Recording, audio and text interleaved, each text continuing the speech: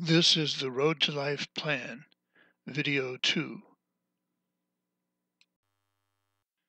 Part 2 Problems and Perspectives. The bad news. The most immediate problem is the imminent, complete loss of the Arctic ice cap.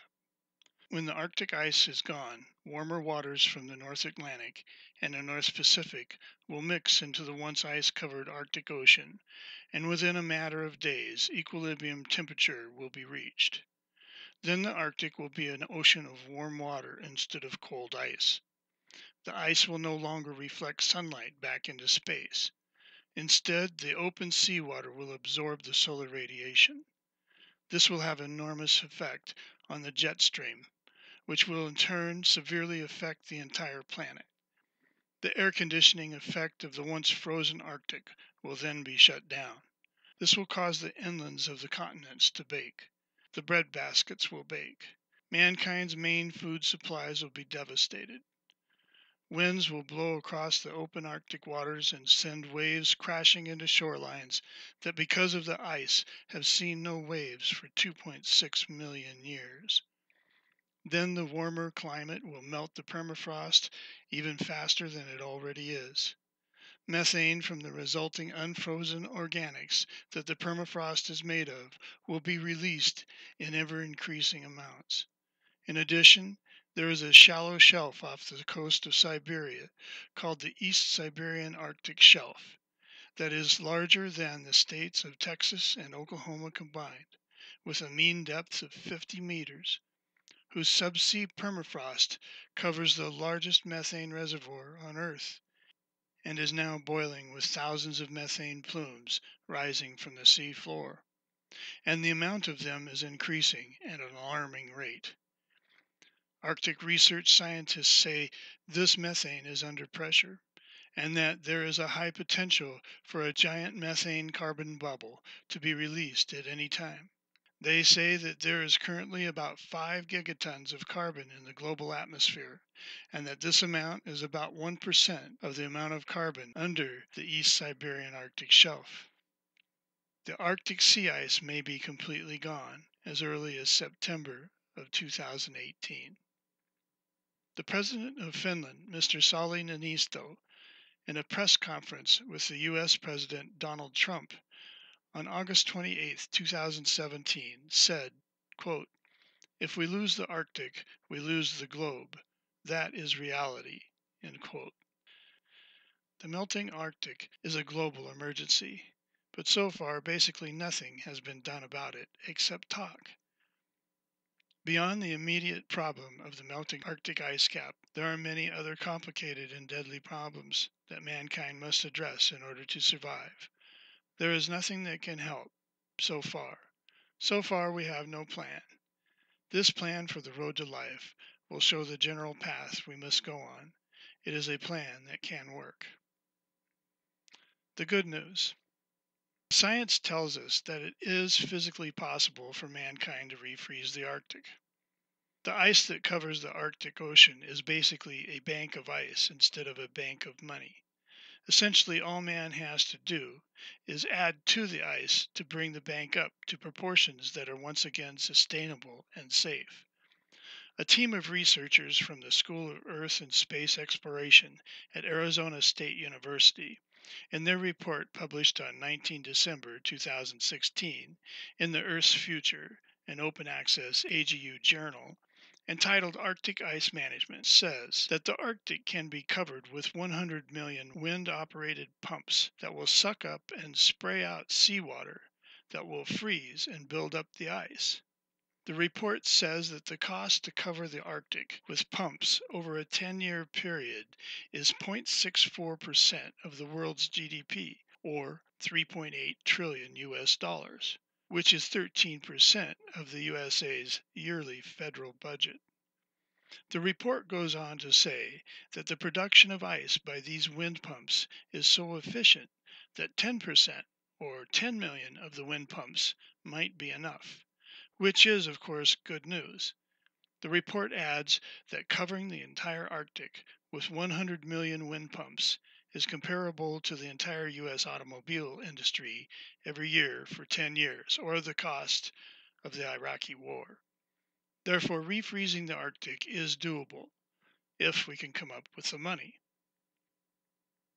The question When the war on Iraq began, the U.S. hired a giant contractor to go into Iraq and build military air bases and facilities.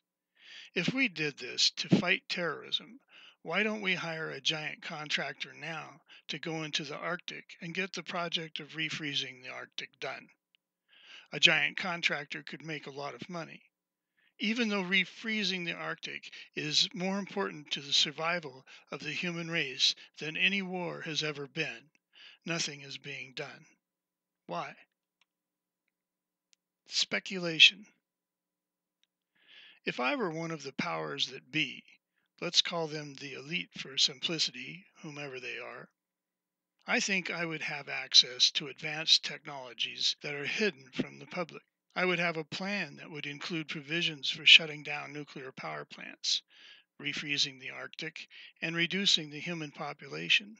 I might consider using the melting of the Arctic as part of the population reduction plan. I might plan to hide away a few months and then come out and refreeze the Arctic using the hidden technology and bring the climate back to a temperature where man can live again. I would have a science based, engineered, and modeled plan. It would be think tanked. The objective would be to reduce the population down to a manageable level that the earth could sustain and life can begin again. I would set up a new world order. But I would not be happy about it. The chances of it not working would be great. If I were an elite, I would only risk it if I felt I had to. If I were implementing this secret plan, however, I would keep it secret. The public would not know, but there would be clues that a secret plan was in place. One clue might be that nothing is being done about the melting Arctic. Another clue might be that Greenland and the Arctic are melting because the ice is being darkened by what researchers are calling black carbon. Black carbon in the Arctic and Greenland, according to the president of Finland, comes from old technology coal fired power plants in Russia and burning oil fields. I have seen pictures of burning oil fields in the Middle East and wondered why they were being allowed to continue burning. But if I wanted to hasten the Arctic melt, I would allow the oil fields to continue burning. Could this be a clue? Suddenly they're letting us smoke pot in most of the United States. Could this be a clue? They install a distraction making type of president, Donald Trump. Could this be a clue? Could 9 11 have been a trial run for this ultimate deception? These apparent clues and my own gut instincts lead me to speculate that another action plan is probably already in place and that it may very well be moving into position right now. If there was a plan for the elite to come out of their underground bunkers and refreeze the Arctic, what technology might they use? HAARP, H A A R P, stands for High Frequency Active Aurora Research Project. It was initiated to the public by President Ronald Reagan as his Star Wars program, where he told us we would have a system that would create a shield over the USA that would protect us from enemy missiles. But HAARP is defined as a weather modification weapon that has been cloaked in secrecy and is heavily labeled as a conspiracy magnet. HAARP is technology originally developed by Nikola Tesla, who is the genius that brought mankind alternating current electrical power and many other technologies. In the 1990s, the U.S. built HAARP in Alaska. It was an array of 180 antennas that were each about 72 feet tall. It was a 5 gigawatt facility designed to shoot several million watt microwave beams into concentrated areas of the ionosphere, the upper atmosphere, causing the ionosphere to heat up and lift. This lifting of the ionosphere causes a rush of air to fill the vacuum created below, causing a local weather disturbance. This is the most basic concept of the design, but it has many other capabilities as well, including shooting ELF signals through the earth to communicate with submarines, find underground facilities, and even oil and gas deposits. The original HAARP was sold to the University of Alaska at Fairbanks in 2015, but the technology has advanced and many more HAARP type of antenna arrays have been built in various places in the world, and some similar technologies are even mobile. A new HAARP type of facility has been built in Tromsø, Norway, that is 100 gigawatts. And it turns out that most of these ionospheric heaters are located around the Arctic. I am not an expert in HAARP technology, but I do know that the Earth has an ionosphere and a magnetic field, and I can see that there are many of these HAARP types of facilities and also related instruments such as digisondes, which measure the ionosphere all over the world. If these facilities are connected to a master computer that can control all of them and can cause them to focus and fire multiple beams of energy into the ionosphere within the context of a computer program, then it is conceivable that the ionosphere could be manipulated like Mozart playing the keys on a piano. In this way, I speculate that the Arctic could be refrozen by simply pushing buttons. Part 3 The Solution The Road to Life Plan. Step 1 Realize we are poisoned by money. We realize that money is a poison to us, that this poison possesses us, and that we have lost control of our lives and of our environment, and our responsibility to watch over all life on earth because of the deceptive poison of money. Why should we consider money a poison? The road to life is set up in 12 steps because the poison of money is similar to the poison of alcohol. One of the principles taught in Alcoholics Anonymous is that alcoholism is a disease an alcoholic reaches the end of his run and faces either death or sobriety and is forced to finally get sober. When he sobers, his eyes are opened and he looks back at the shambles he has made of his life and goes into depression and possibly contemplates suicide. Then Alcoholics Anonymous tells him that alcoholism is a disease, a poison, that the reason he has done all these terrible things is because the disease poison caused him to behave insanely. When the man realizes his actions were the result of a poison, and that he would not have done them if he had not been under the influence of the poison, then he is able to stop blaming himself and others, and he steps onto the road of recovery. Today, mankind is running around in different directions. We blame everyone else for everything. It's important that we realize that money is a poison because that realization takes the blame away from all of us. The blame is one of the main things that is keeping us apart. It is like the analogy of the man with rabies. The man goes insane because of the poison that is in him. He is not responsible for the damage he does while the poison is infecting him because he is out of his mind. When the man receives the antidote and comes out of his poison induced stupor, he returns to the same person he was before and sees the damage he's done. Then he takes responsibility for it and repairs it the best he can. He does not go to jail. There is no blame. Seeing money as a poison also allows mankind to get our collective arms around the problems we have created. When we realize that basically all of them are based on the underlying cause of a poison and that we have created them under the influence of this poison, then we can easily see what the solution is to get rid of the poison. Once we end our use of money, then our minds will clear and we will begin our recovery onto the road to life. Is money a poison?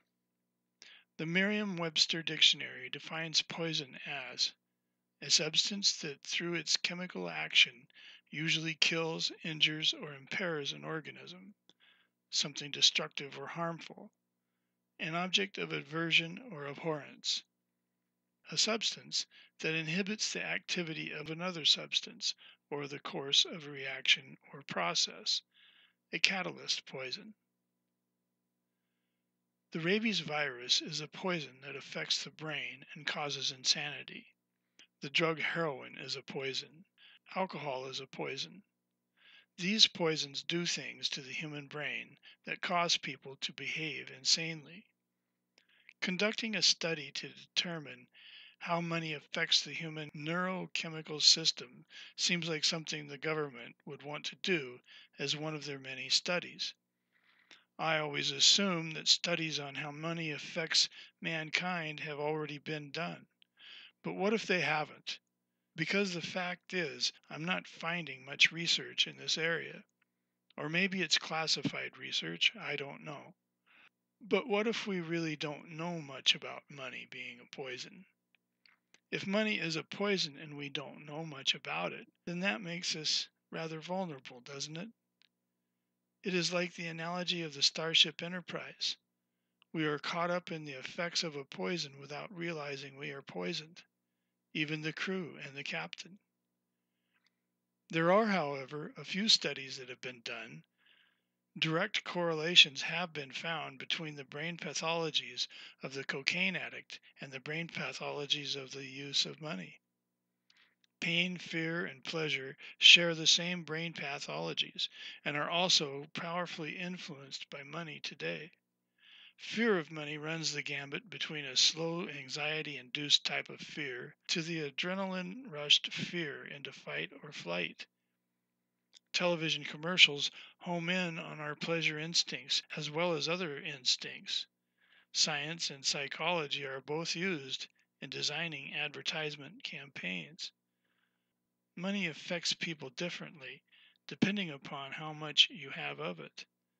According to research conducted by Paul Piff, Associate Professor of Psychology and Social Behavior, PhD, UC Berkeley, money affects people as follows.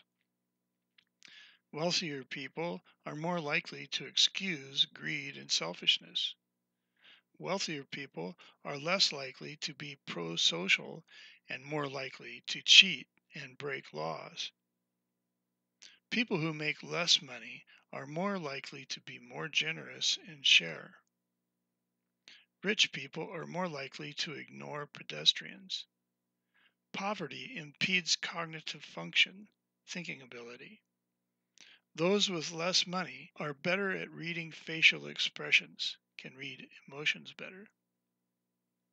Here is a list of some of the main mental disorders in America today depression disorder, generalized anxiety disorder, panic disorder, obsessive compulsive disorder, post traumatic stress disorder. Imagine how much money has to do with each of these disorders. Depression can obviously be strongly influenced by money. Anxiety and stress are closely related, and the American Psychological Association has placed money as the number one cause of stress in America since 2007. Panic disorder can certainly be influenced by lack of money, as well as depression, anxiety, and stress. Obsessive compulsive disorder could be considered a symptom of the stress caused from dealing with money. Post traumatic stress disorder often comes from war, which is caused by money in my opinion. At any rate, one can see that money has a strong influence on mental disorders.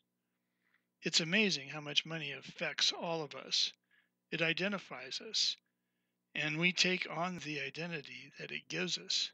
The poor man is humble, while the rich man is proud.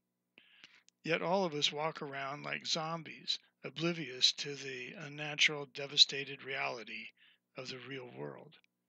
We have become money zombies. Is money an addictive poison? A review paper titled The Neuroscience of Addiction describes addiction as addiction, also known as a substance dependence, American Psychiatric Association 1994, is a chronically relapsing disorder that is characterized by three major elements. 1 compulsion to seek and take the drug. 2. Loss of control in limiting intake. And 3. Emergence of a negative emotional state, for example, dysphoria, anxiety, irritability, when access to the drug is prevented, defined here as a dependence. Koob and Le Moal, 1997.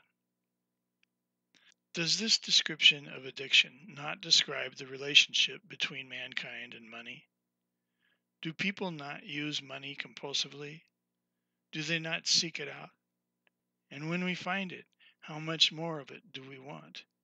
Do we ever really have enough? And when our money is taken away from us, do we not go through withdrawals?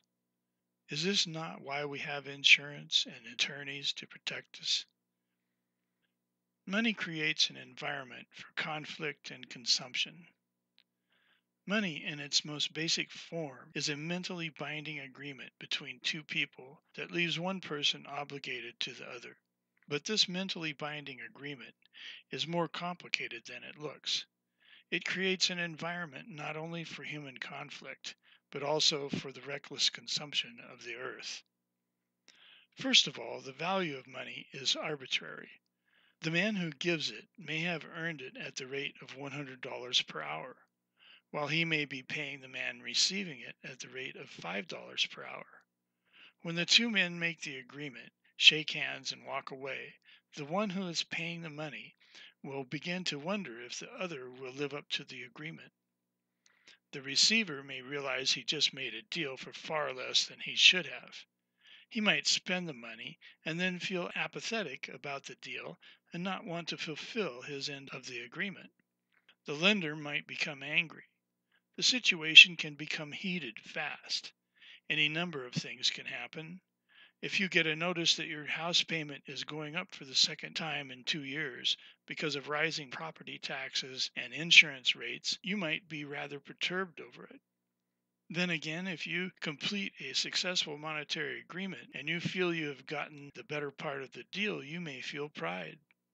And if you complete a number of agreements successfully with gain, then you may want to complete more, and you might one day perceive yourself as better than other people, while other people might perceive you as greedy. The point is that the monetary agreement sets the stage for human conflict. Money also causes mankind to consume the earth for money. In the Clint Eastwood movie Pale Rider, which takes place, I would guess, around 1880 or so, a rich gold mine runs water down a hill through increasingly narrow pipes until it develops high pressure jet sprays that he uses to blast the hillside to sluice out the gold. The Exxon Valdez was a single hull oil tanker Exxon knew that double hulls were safer, but obviously more expensive. The great Amazonian rainforests are called the lungs of the earth, but they have been cut down for exotic woods and burned down to make plantations.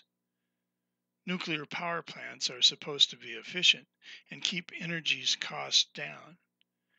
But how much have Three Mile Island, Chernobyl, and Fukushima nuclear power plants cost mankind and the earth.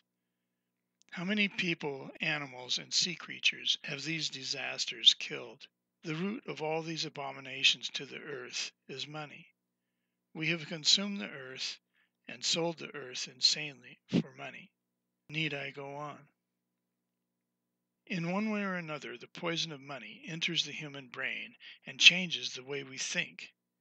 Instead of the human being rising in the morning, especially in the first world countries like America, and thinking of the reality of life like our ancestors did, thinking of the hunt, the phase of the moon, the direction the wind is blowing, and how part of the group of edible plants in the valley must be left for regeneration. The human, under the influence of the poison of money, rises in the morning and thinks about how to feed the poison. In other words, how to make money. A man gets up in the morning, turns on the light and the television, and gets dressed and eats toast with a slice of ham while he checks his stocks on the internet and listens to propaganda laden trivial politics on the news.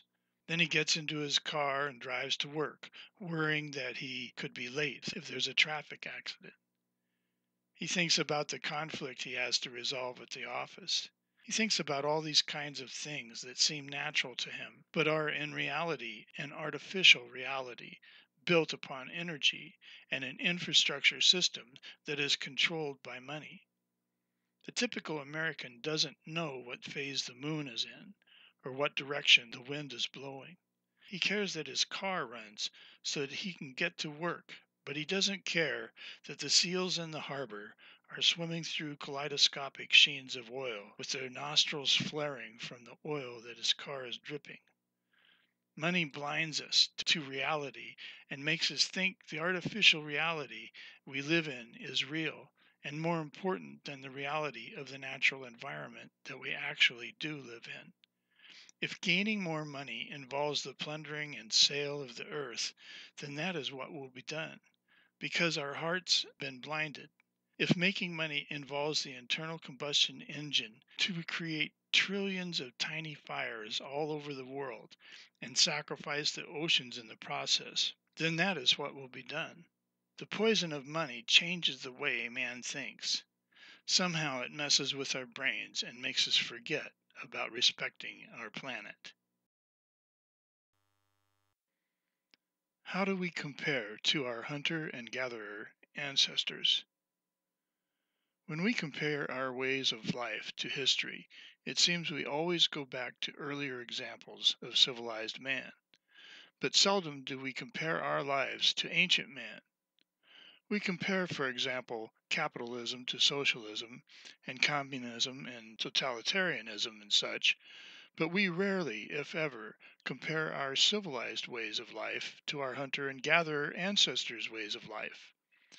By not comparing ourselves to our ancestors, we miss understanding the basics that our lives are truly founded upon. Let's do a simple comparison then. Let's compare several characteristics of the ancient hunter and gatherer life to the same characteristics of civilized life, where mankind is poisoned by money. Hunter and gatherer life. No change. From generation to generation, technology stayed fairly constant. Weapons, tools, clothing, and shelters remained basically the same. Civilized life. The money effect change. From generation to generation, technology continuously improves. Each generation experiences new technology, new technologies becoming more extreme after the Industrial Revolution. Hunter and gatherer life. No change. Population remained fairly constant. Civilized life. Change population generally steadily grew until mankind harnessed the power of fossil fuels. Then our population spread all over the world. Hunter and gatherer. No change. Ecosystems thrive. Civilized life. Change. Ecosystems are relentlessly consumed, suffer, and die.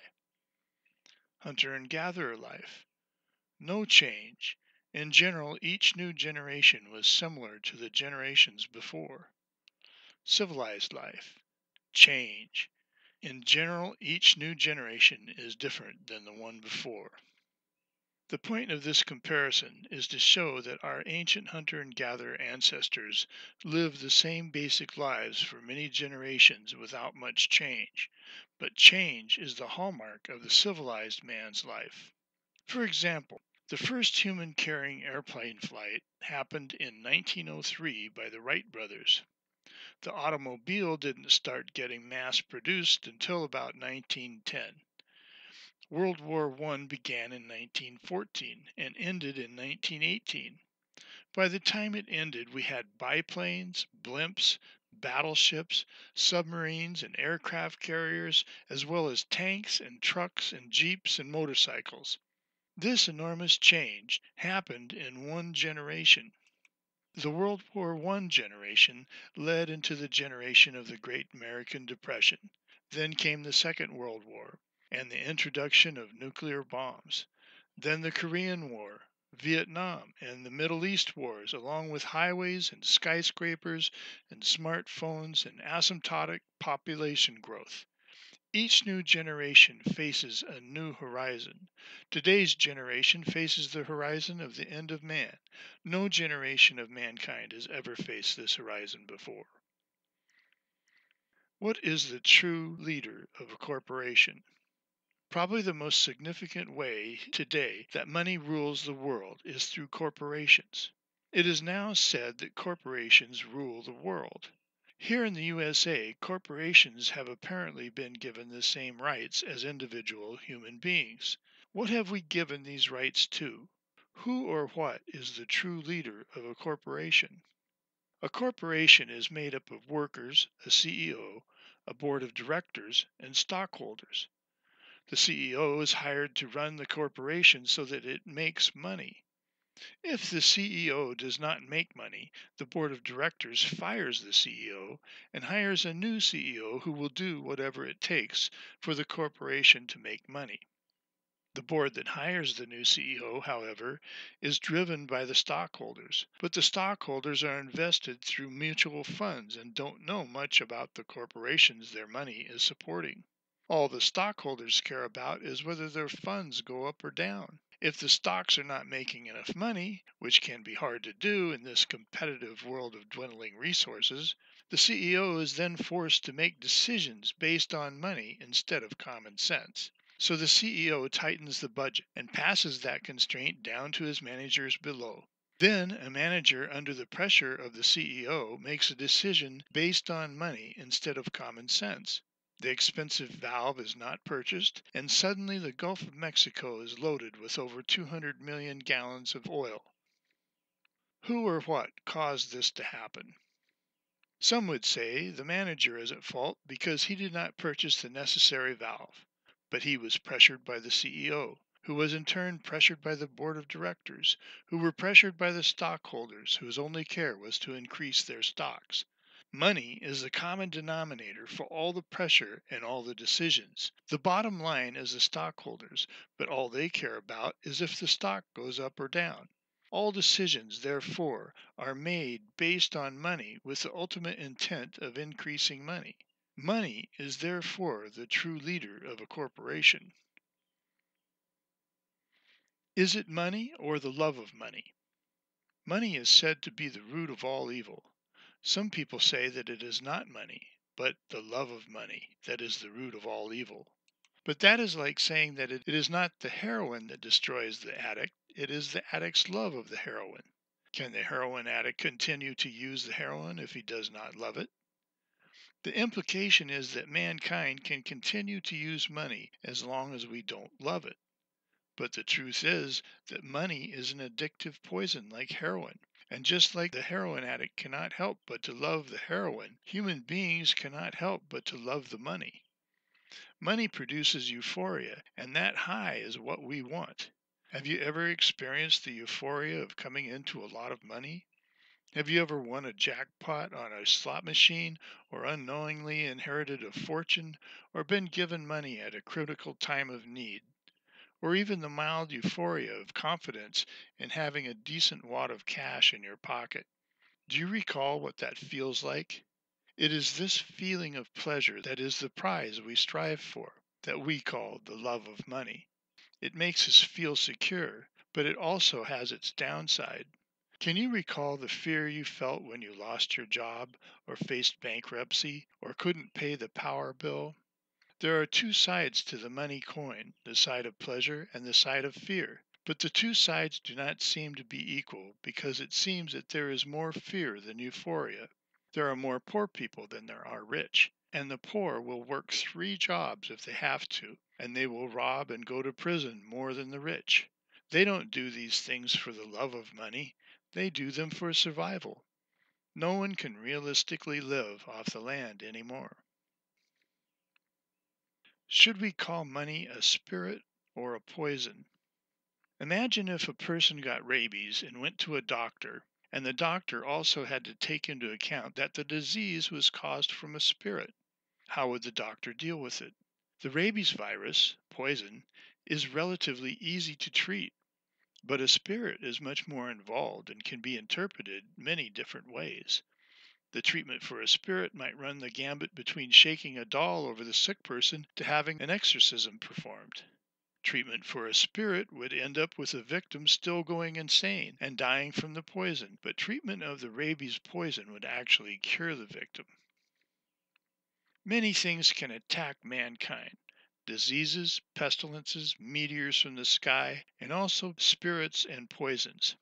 A spirit, however, conjures up images of things we see in our nightmares, but are not there in reality. Children and even adults, especially after watching a horror movie, think they see things in the shadows of the dark. When the lights are turned on, they realize that nothing is there. The word spirit gives a name to those imagined shadow images and inflates the imagined possibility that something might actually be there. The word spirit conjures up images of swirling clouds and godlike powers in our minds. Humanity has been describing the unknown as spirits for a long time, especially in religions.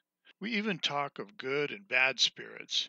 A poison, however, acts in the same manner as an evil spirit and produces the same symptoms. But a poison is real, and the word poison doesn't conjure up superstitious images or behaviors. If a person gets rabies, for example, and goes insane, we know it is because the poison that infected him. But if a person just goes insane without an apparent poison, then we don't know what caused his insanity, and we might say it was a spirit when in reality it's most likely from a spider bite or some kind of metabolic disease or tumor on the brain. The power of the poison of money is strong enough without adding emotionally charged spiritual type description. For this reason, I prefer to refer to money as a poison that has infected mankind, not a spirit. What is a spirit? The Merriam Webster dictionary defines spirit as a capitalized Holy Spirit, soul, an often malevolent being that is bodiless but can become visible, specifically ghost, a malevolent being that enters and possesses a human being. Dictionary.com defines spirit as the meaning carry off or away secretly, as though by supernatural agency, is first recorded in the 1660s. Spirit of medicine, spirit, spirits, an alcohol solution of an essential or volatile substance. Can you see how the word spirit involves the emotional parts of the mind? Do you see how these emotions cloud the logical processes of thinking that people normally use to not be afraid of the dark? Money is not a living thing, and yet it is. It makes decisions and rules the world, though it has no body and no mind. And money infects only Homo sapiens. No other species on our planet can be infected by this poison. Only the human mind, with its powerful ability to think, is vulnerable to this particular poison. This poison makes us live in artificial reality that appears to make us dependent upon the use of money and living in an artificial world that is separate from nature. The great wall that blocks mankind's passage to life is an artificial wall. It is a figment of our imaginations. It makes us think that we must live under the system in which it rules, and that there is no other choice. Meanwhile, it does not compare mankind's civilized life with money to the life of our ancestors who did not use money. When the poison is removed, our eyes will open and we will begin our journey on the road to life.